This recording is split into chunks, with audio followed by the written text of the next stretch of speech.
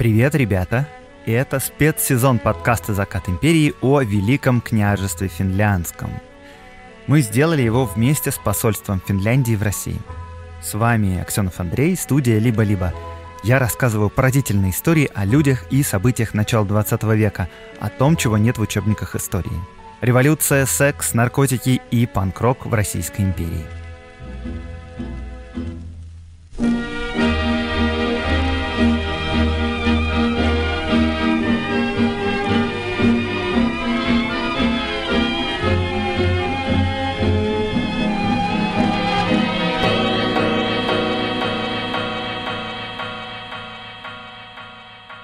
Прежде чем я начну, у меня есть маленькая просьба. Мне самому и вообще нам в студии очень интересно понять, кто слушает подкаст «Закат империи», поближе с вами познакомиться. И поэтому в описании выпуска есть ссылка на опрос. Пройдите его, пожалуйста, он совсем короткий.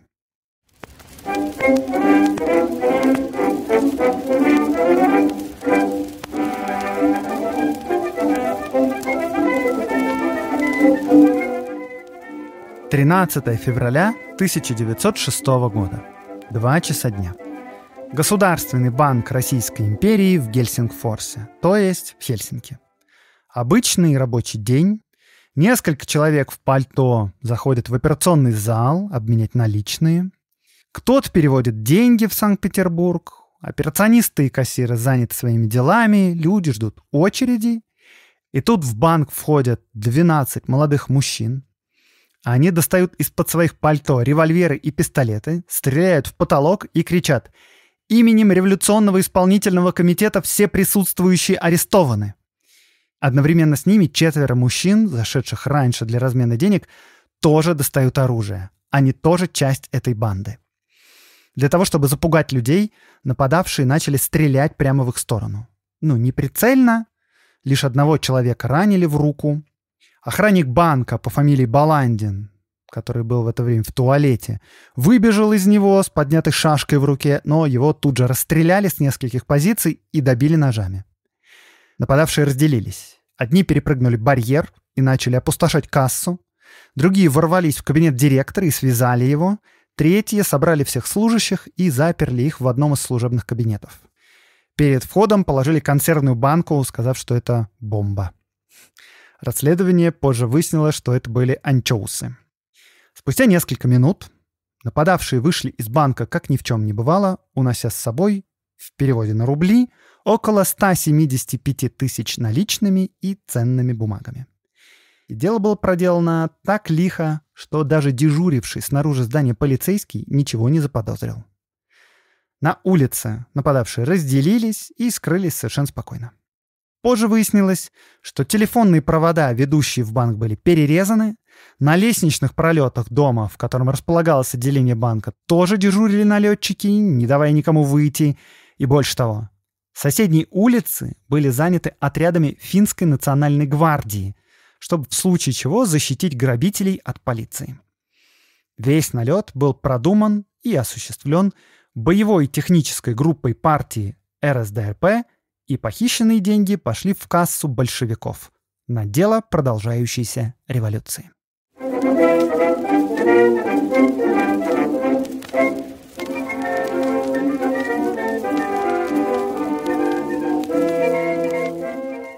Мне кажется, что самое интересное в описании этого преступления то, что налетчиков-большевиков прикрывали отряды финляндской национальной гвардии. Типа, что? Но да, Февраль 1906 года — это очень жаркое время. Император уже объявил права и свободы. Опубликован манифест 17 октября, но Дума еще не начала заседать. И протестующие всех мастей еще считают, что они смогут добиться большего. Ну, то есть полного свержения самодержавия. Так вот, что такое Национальная гвардия Финляндии?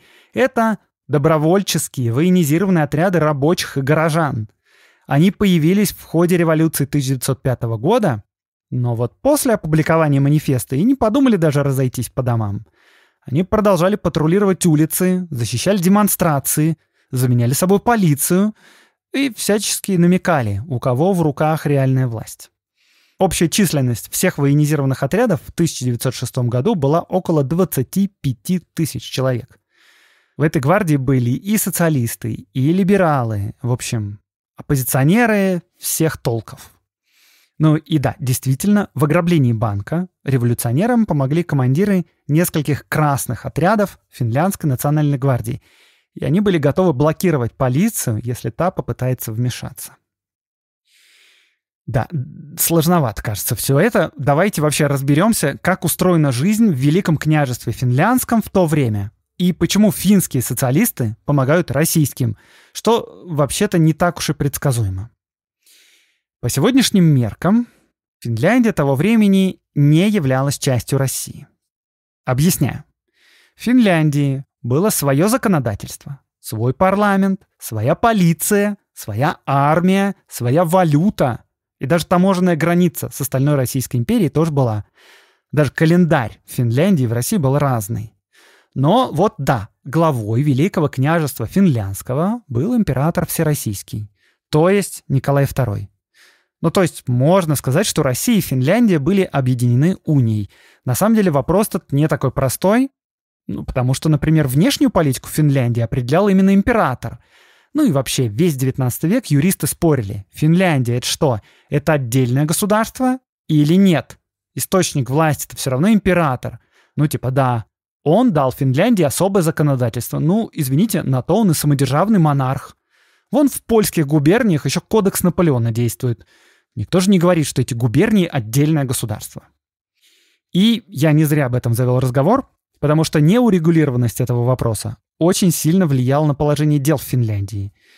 Ну и, как вы понимаете, сам Николай II придерживался той точки зрения, что Финляндия — это, конечно, часть России. И если это часть России, то хорошо бы все в России унифицировать. В первую очередь законодательство, конечно. И вот в 1898 году Николай II назначил губернатором Финляндии генерала Николая Бобрикова, и тот начал проводить политику русификации. В следующем году император издал манифест, по которому он мог бы издавать законы без согласования с местным парламентом. Он называется Сейм. Потом русский язык был введен в местное дело производства – Потом, в 1901 году, была расформирована финляндская армия, и финнов стали призывать в российскую. Ну и кончилось это тем, что генерала Бобрикова убил финский национальный активист-радикал. Все вот эти законы, которые тогда проводились, они были направлены не только на русификацию, но и на унификацию законодательства с остальной империей, что автоматически означало, что у финнов теперь будет меньше прав и свобод. И я бы сказал, что политически эти все устремления Николая II были вообще ничем не обоснованы.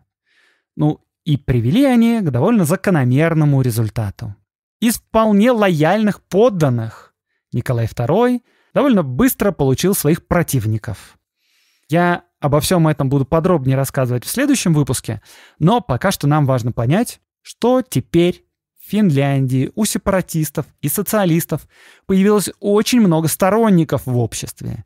И эти сепаратисты и социалисты тесно дружили с российскими революционерами. Ну, потому что цели у нас общие — свержение самодержавия. Очень умный ход, Николай Александрович. И, кстати, знаете, почему для нападения было выбрано именно отделение Российского государственного банка в Финляндии? Тут я кстати, замечу, что Госбанк в Российской империи это не то же самое, что сейчас. Он выполнял многие операции, которые сейчас выполняют обычные частные банки. Ну, то есть он выдавал кредиты, осуществлял переводы денег, принимал вклады и так далее. Но для нашей истории важнее, что до русификации никакого Госбанка Российской империи в Финляндии не было. Его появление тоже было частью этой самой политики, и поэтому большевики, планируя нападение, рассчитывали, что местные их поддержат. Э, и это им удалось, откровенно говоря, не до конца.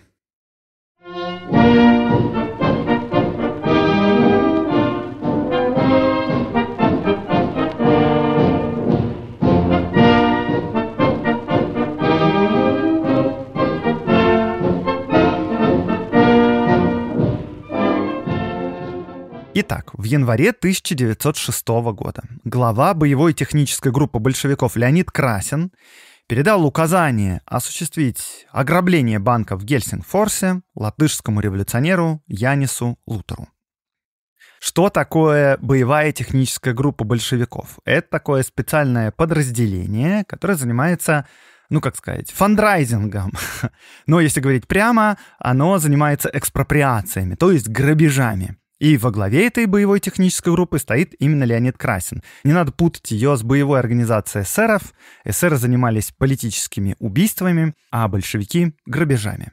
Итак, Янис Лутер, латыш, которого выбрали руководить этим нападением. Ему на момент ограбления только исполнилось 23 года, но он уже хладнокровный суперпрофессионал. Про Яниса рассказывали, что он с 15 шагов попадал из револьвера в шляпку гвоздя и забивал его таким способом в дерево. За два месяца до ограбления банка он провел операцию в Риге, захватил оружие там со склада и вступил в бой с конным отрядом. И операция прошла успешно. Но потом в январе полиция арестовала его в Риге при облаве. В полиции Яниса пытали и даже один раз вывезли из тюрьмы якобы для расстрела, но потом вернули обратно. А в начале февраля друзья Яниса взяли штурмом тюрьму и освободили своего руководителя. Как раз вовремя для того, чтобы он возглавил нападение на банк. И Янису, когда он переправлялся в Финляндию, даже пришлось накладывать грим, потому что его все лицо было в синяках от побоев. И его могли бы узнать поэтому. И портной при пошиве костюма с трудом брал с Яниса мерки, потому что он был просто изувечен. Значит, Янис Лутер взял с собой в Финляндию испытанных своих друзей-боевиков из Риги, и к ним по указанию Леонида Красина присоединяются еще и петербургские революционеры. Связь с местными ячейками и вот этими военными отрядами Национальной гвардии осуществлял финн Карл Ньюман. Это редактор финской социал-демократической газеты. Короче, собралась такая интернациональная бригада. И еще, между прочим, прямо в это время в Финляндии жил и Ленин. Но он, однако, из соображений конспирации, естественно, никаких встреч с боевой группой не имел, но держал руку на пульсе, конечно. В частности, в начале февраля он встречался в Гельсингфорсе с Максимом Горьким и Марией Андреевой, его любовницей. И он явно их предупредил о готовящемся ограблении, потому что Горький с Андреевой покинули Финляндию на пароходе прямо за день до ограбления.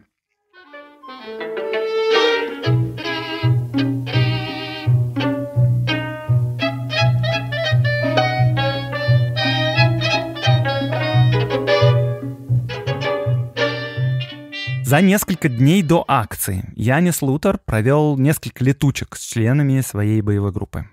Места летучек постоянно менялись. Были четко распределены обязанности, кто входит первый, ну, якобы для размена денег, кто попозже. Один из тех, кто входил в банк первым, должен был занять телефонный аппарат и перерезать незаметно у него провод и продолжать делать вид, что разговаривает. Отделение банка находилось на втором этаже здания. На первом этаже была столовая, а во дворе во внутреннем был крупный магазин. Так что появление большой группы молодых людей в плащах и пальто не привлекало бы внимания. На подъездной лестнице тоже поставили боевиков на дежурство, чтобы задержать любого постороннего. Недалеко от здания находилась гауптвахта, и банк был связан с ней сигнализацией. Но один из сотрудников банка был членом социал-демократической партии и заранее обрезал провод, со стороны финнов в ограблении принимали участие Алави Савалайнен и его зять Карл Феррин. Они руководили отрядом финской национальной гвардии, и эти отряды в назначенное время заблокировали прилегающие улицы, чтобы полиция не могла проехать к банку. Короче, все было рассчитано реально до мелочей, и поэтому прошло без сучка, без задоринки. Ну, если не считать того, что охранник был безжалостно убит на глазах служащих и случайных посетителей. Грабители вышли из здания и спокойно разошлись в разные стороны. Тем временем э, заложники, то есть служащие и посетители, боялись двинуться просто с мест, и это все из-за тех самых консервных банок, якобы с бомбами, а на самом деле с анчоусами. Наконец, служанка директора банка выбралась через окно, подбежала к дежурившему у здания полицейскому, тот поднял тревогу, и только через полчаса после того, как грабители скрылись, в здание прибыла полиция. Ограбление это, конечно, произвело невероятную шумиху, и к сожалению для нападавших, финское общественное мнение не склонилось в их пользу. Ну да, они ограбили банк ради победы революции. И да, они ограбили не финский банк, а русский государственный банк, но только вот жестокое убийство охранника, да еще и добивание его ножами, да еще и беспорядочная стрельба в посетителей, и это все вызвало, ну, негодование.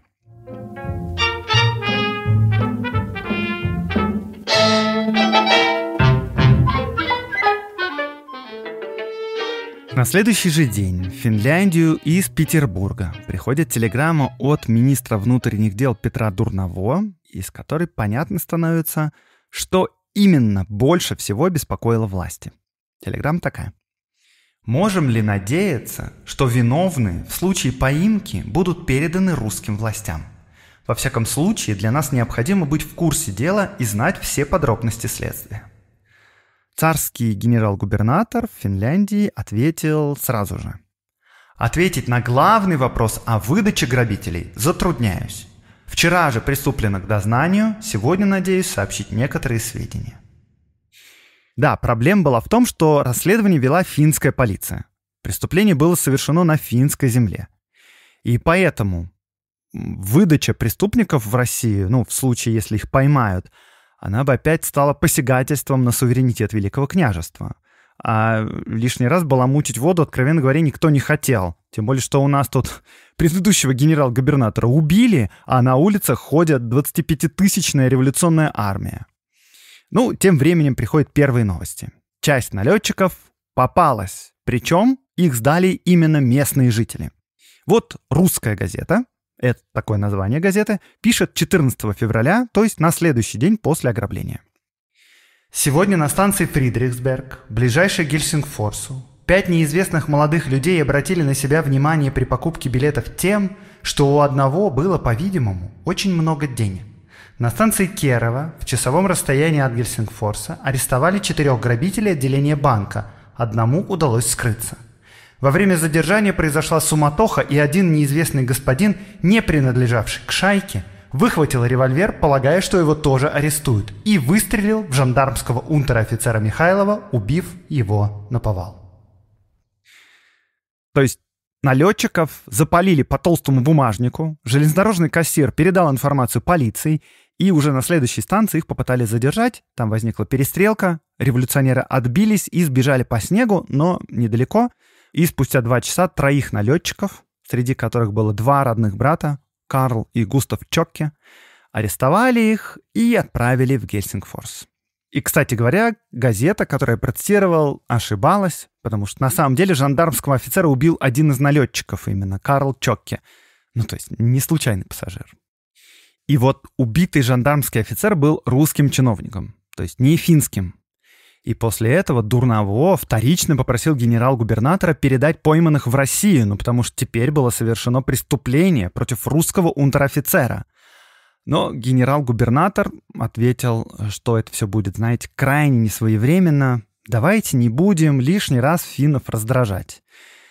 И точка зрения генерал-губернатора имела смысл, потому что, смотрите, когда арестованных налетчиков под конвоем транспортировали в Гельсингфорс, и они ждали поезда, то один из боевиков, Карл Чокке, принялся агитировать солдат, которые их охраняли. Типа, мы боремся против царя, а вы нас арестовываете, охраняете. Офицер тогда назвал арестованных подстрекателями и ворами, а Карл вскочил и ответил ему вот так. «А что вы творили в Маньчжурии и Риге? Имелось бы у меня столько сил, сколько есть мужества, то я бы покончил бы с тысячами подобных вам».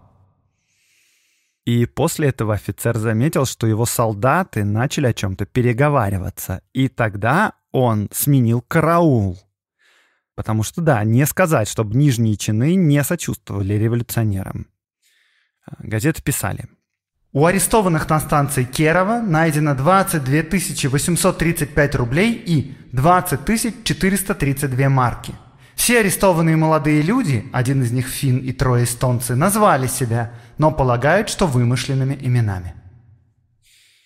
Еще через день, 16 февраля, двое молодых людей пришли в редакцию оппозиционной газеты в Таммерфорсе сейчас этот город более известен под финским именем Тампере, и оставили там сумку, попросив проследить за ней. Причем они еще показали записку, которая была подписана секретарем социал-демократической партии Финляндии Юрио Сиролой. И в этой записке была просьба оказать любое содействие людям, которые ее предъявят. Но журналисты не стали помогать. Напротив, они обратились в полицию. И одновременно в полицию пришла горничная отеля, которая обнаружила в одном из номеров Маузер. Полиция устроила засаду в редакции газеты и задержала обоих. Одним из задержанных оказался Янис Чокке, третий брат арестованных два дня назад Карла и Густава. Его обыскали, нашли у него Маузер и Браунинг, но просмотрели при обыске кинжал и отвели в полицейский участок. Во время допроса полицейский офицер ударил Яниса по лицу, а тот выхватил свой кинжал и убил офицера. Полицейские все разбежались. Янис взял оружие убитого офицера и забаррикадировался в комнате. Следующие несколько часов полицейские штурмовали комнату и взяли ее приступом только когда поняли, что у Яниса кончились патроны. Причем Янис, как и его брат, все это время активно агитировал, просил помощи с улицы. Вот я вам цитирую экстренную телеграмму местного губернатора в Гельсингфорс. Вчера во втором часу дня полицией задержаны двое грабителей банка, причем одному из них удалось вырваться и кинжалом зарезать комиссара Балкевича и из револьвера убить констебля Грепфельта. Ранен домовладелец Тамменен, констебль Илинен тяжко и констебли Милан и Илинен легче. Стоя в окне, подстрекал собравшуюся публику, часть коей стала на сторону разбойника. Протестами и своим угрожающим настроением мешало взять разбойника, что, однако, часа через два удалось. Беспокойная часть публики мало-помалу усмирена, главным образом рабочими вожаками. Просто железные люди. Там полиция в какой-то момент вызвала пожарных, чтобы залить водой Яниса Чоки. Так вот, толпа набросилась на пожарных. Одного из них, который держал в руках бронзбойт, ударили по голове так, что он упал и потерял сознание. То есть оцените, как нелегко было в Финляндии арестовать революционеров в 1906 году. Спасибо, Николай Александрович, за политику русификации. Но в итоге толпу действительно успокоили свои же. У арестованных забрали 14 тысяч рублей и 500 марок. Кстати говоря, у арестованных ранее на железной дороге тоже были записки с просьбами о содействии от редактора левой газеты «Рабочий» Карла Ньюмана. Это тот самый местный фин, который связывал боевую группу большевиков и финских социалистов. И после того, как обнаружились эти записки, Карла Ньюмана тоже арестовали, причем его арестовали прямо на палубе парохода в городе Ханка. Он прям вот чуть-чуть не успел уплыть в Стокгольм.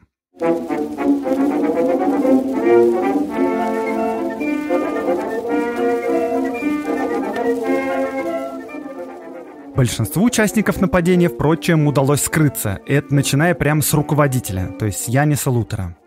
Вот его история — это просто остросюжетный боевик. В Гельсингфорсе его сначала перекрасили. Ну, то есть, буквально. Э, вот вам воспоминания большевички Елены Стасовой. Одного из латышей, блондина, я безуспешно пыталась превратить в брюнета. Ни я, ни он понятия не имели, как это делать. Купленная с этой целью жидкость нещадно воняла сероводородом. Волосы еще удалось кое-как перекрасить, но когда дело дошло до усов, парень не выдержал. Пришлось их просто сбрить. Это был именно Янис Лутер. Спустя пару дней Лутер объявился уже в Тамерфорсе, то есть опять в Тампере. И дело было так. Николай Буренин, глава боевой технической группы Финляндии, подчиненный Красина, устраивал фандрайзинговый концерт. И на этом концерте он был еще и аккомпаниатором. Перед самым началом концерта ему сообщили, что Янис Лутер в здании театра. Его выследила полиция, и он просто забежал сюда. Лутера спрятали под сценой. После концерта вывели из театра и спрятали в пустующей школе. И там полиция снова вышла на его след. Я, честно говоря, не знаю как, не спрашивайте, но школу окружили. Янис отстреливался, потом он выбрался на крышу, спрыгнул с нее и скрылся просто монстр. И в итоге большую часть экспроприированного, то есть около 120 тысяч рублей, удалось сохранить для партии. И та же Елена Стасова, которая перекрашивала Яниса Лутера, вспоминала, как она лично переправляла в Питер под одеждой около 10 тысяч. Для этого ей пришлось сшить специальный пояс, чтобы спрятать деньги под одеждой. Основную часть средств перевезли в Германию и Швецию.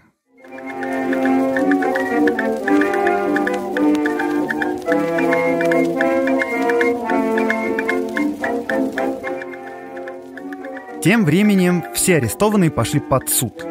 И судили всех в Финляндии. Российским властям так и не удалось экстрадировать задержанных в Россию. А если бы они были задержаны в Россию, то, скорее всего, они бы пошли под расстрел. Но в Финляндии оказалось немножечко полегче. Пятеро грабителей были приговорены к срокам от двух лет до пожизненного, 15 э, лет и пожизненное получили, соответственно, братья Карл и Янис Чокке за убийство полицейских.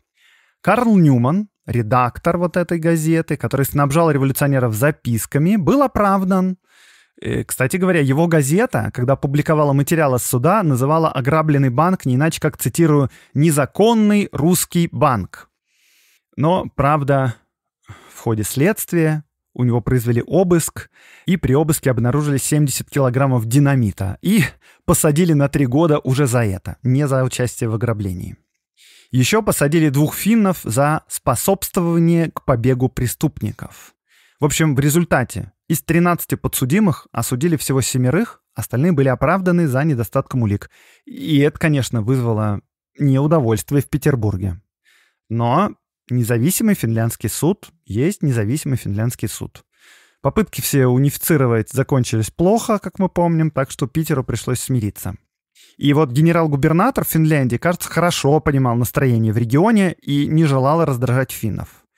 Через полгода, в сентябре 1906 года, он, например, сообщал в Петербург, что ну да, вот знаете, хотя действительно в Финляндии происходят грабежи банков, но местная полиция очень хорошо с этим справляется. Ну и да, тут правда есть тайные организации, но вообще-то очень малочисленные. И в итоге он написал вот что – Нельзя не заметить единодушного противодействия таким преступным проявлениям со стороны всего общества. И на его докладной записке Николай II написал резолюцию «Сладкая водица». А, очевидно, не соглашаясь с описанной губернатором пасторальной такой картиной. И да, действительно, до единодушного противодействия преступным организациям был далеко, потому что в начале лета 1906 года, ну, например, вот эта самая добровольческая национальная гвардия окончательно раскололась на Красную гвардию и, собственно, Национальную гвардию. И между ними в Свеоборге и Гельсингфорсе были настоящие битвы. На стороне красных были восставшие матросы, а на стороне их противников — государственная полиция. Так что до умиротворения был далеко.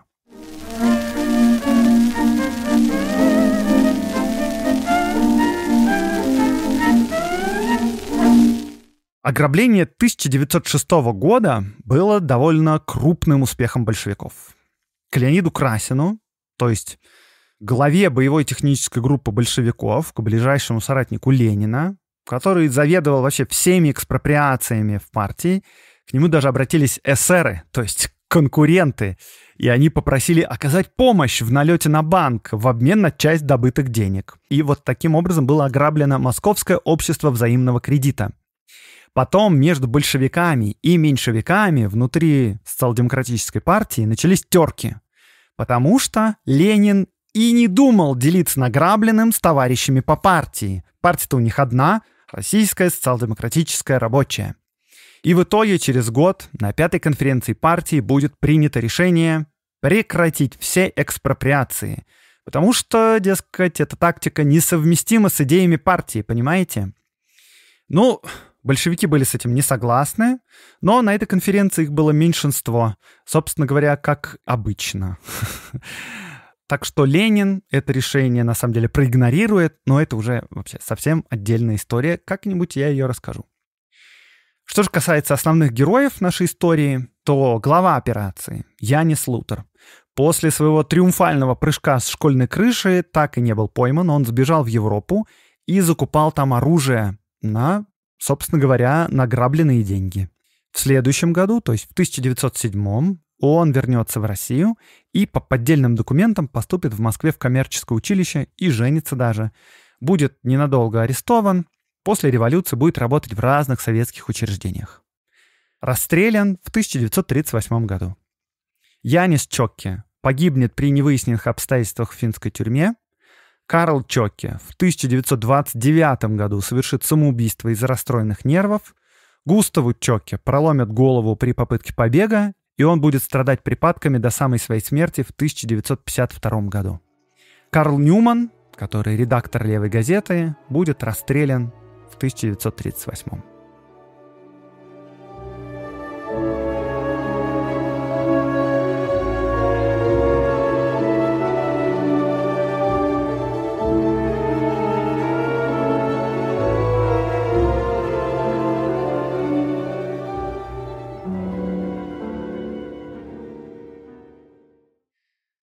Рубрика «Чтобы послушать». Послушайте, ребята, новый подкаст, который называется «Ласточки». Делают его Настя Курганская и Даша Черкудинова. И вы их, возможно, знаете. Они ведут подкаст «Норм» и «Советские дивы».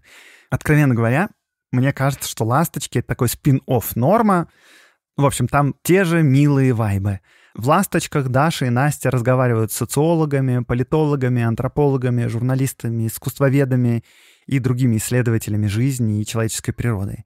И за что я люблю их, их подкаст, так это за то, что они каким-то непонятным образом, своей душевностью, что ли, а, умеют в своих разговорах выходить прямо на какие-то глубины. Как-то они умеют и сами раскрыться, и помогают раскрыться своим собеседникам. И, в общем, весь подкаст получается такой одухотворяющий, я бы даже сказал, терапевтичный. В общем, слушайте «Ласточек», ссылка в описании этого выпуска.